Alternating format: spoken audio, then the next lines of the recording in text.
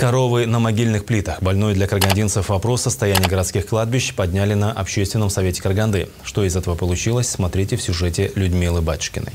По закону на каждого умершего жителя бесплатно выделяется не менее 6 квадратных метров земли. Кладбища отдаются в аренду, и арендатор отвечает за санитарное состояние. Однако от карагандинцев очень много жалоб на свалки мусора, отсутствие проездов на кладбищах и на то, что на могилах пасутся коровы и ломают плиты. И я плачу за это деньги.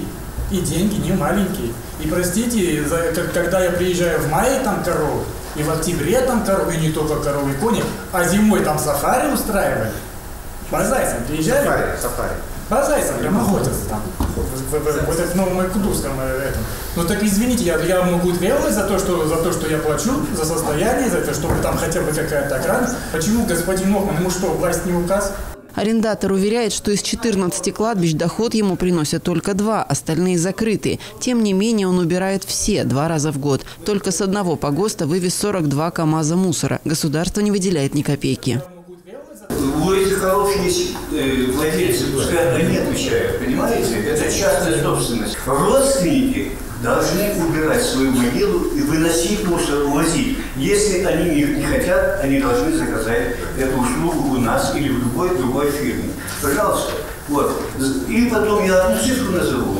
Ну, конечно, вы удивитесь, что захоронение в Германии стоит всего 7 тысяч евро. Депутаты становятся на сторону бизнесмена. Они считают, что строить дороги к кладбищам и заборы вокруг них – это дело акиматов. Я был свидетелем, что э, на Триаде, вот там, она достаточно уже большое кладбище, там ходят коровы. Но давайте мы ее оградим. Это же все-таки не э, тех людей, которые там занимаются. Это наша городская территория. Это та земля, которую нельзя реварировать. Тихоновское кладбище, да? Она находится рядом с жильем. Жильцы все несут к забору кладбища. Мусор весь свой. Ни в одном доме контейнера нет. Кто должен работать? Аппарат местный исполнительный орган. То есть аппарат таким правильным.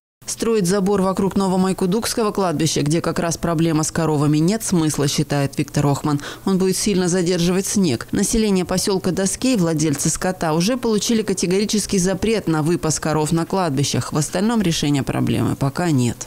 Людмила Батюшкина, Тимур Назаргалеев, Равиль Валеев, Пятый канал.